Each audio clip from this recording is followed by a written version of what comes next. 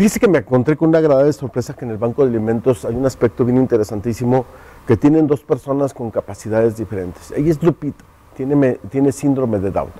Una jovencita que fíjese que es muy entusiasta en su casa, bueno, pues no tenía algunas funciones específicas de sociabilización y hoy en esta ocasión, bueno, ella se dedica específicamente a confeccionar, a elaborar las despensas de cada uno de los lugares. En un principio no quería que platicáramos con ella, pero, pero sin duda, amigos del auditorio, Lupita es una persona que, no, ella no está muy precisa, no, no se sabe si tiene 15, 16 años o ella dijo que 25, pero cómo, cómo hoy en día el Banco de Alimentos es un ejemplo para muchas de estas empresas que se encuentran precisamente en el parque industrial, que en múltiples ocasiones se niegan a dar trabajo específicamente a las personas con discapacidad. Le platico este tema y je, le digo por qué. Porque eh, el día de antier recibí un mensaje de una persona con discapacidad que fue a Entrada Group a solicitar trabajo. Dice que lo entretuvieron tres horas, lo cuestionaron mucho y terminaron por decirle, después vuelve.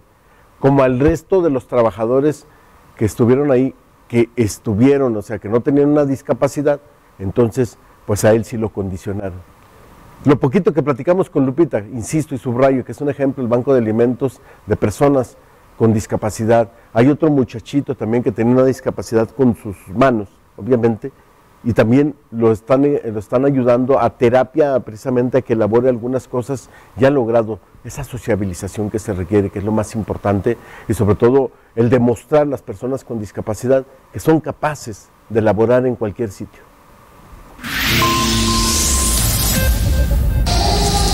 ¿Vienes diario, Lupita? Sí. ¿Te gusta no, tu cierto, trabajo? Lupita, cada tercer día bien. No, no vino. Oye, Lupita, ¿y te gusta tu trabajo? Sí. Sí, sí. ¿Y a qué horas llegas aquí, Lupita? Menos. A las 8, digo. 18. Ocho. ¿Y después de aquí, qué haces, Lupita? ¿Yo? ¿Te vas a tu casa? Sí, me voy a mi casa. ¿Y allá qué haces en tu casa, Lupita? No toda la casa. Sí. ¿Haces la limpieza? Sí, Sí. ¿Sabes trapear y barrer bien? sí, no todo. ¿Todo? Sí. Lupita, ¿no has estudiado? No. has estado estudiando? ¿Nunca has estudiado? No. ¿No sabes leer ni escribir ni nada de eso, Lupita? ¿Qué edad tienes, Lupita? Yo. Ay, mío. 17, Lupita. No. No, no. ¿cuántos? Él es 5. 15, 5.